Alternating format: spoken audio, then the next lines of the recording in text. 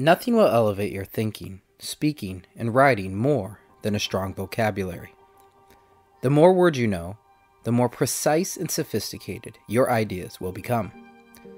To build your vocabulary, you must be a self directed learner.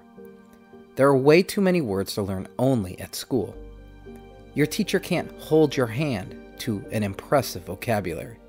Oh no, a strong vocabulary is earned in the same way a strong body is through good old hard work. No hacks, no shortcuts, just daily habits implemented for long periods of time. People with large vocabularies have developed methods and habits of learning thousands of words on their own. Through movies, books, podcasts, and conversations, people with robust vocabularies are always on the outlook for new words. The purpose of your Word Encounters worksheet is to instill in you the habit of identifying interesting words, writing them down, learning what they mean, and incorporating them into your writing and speech. If you can make this a habit of yours, you will transform your mind and how you think.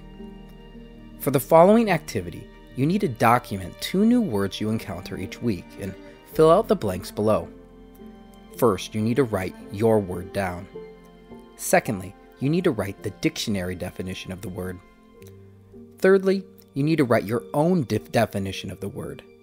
Think, how could you write the dictionary definition simply and in your language? And after that, you need to practice using your word in a paragraph. What you write in your paragraph is up to you. Just be sure you experiment using your word, and be sure you write 100 words or more. So, once again, write down two interesting words you encounter during the week. Then get to know words better by filling out the worksheet given.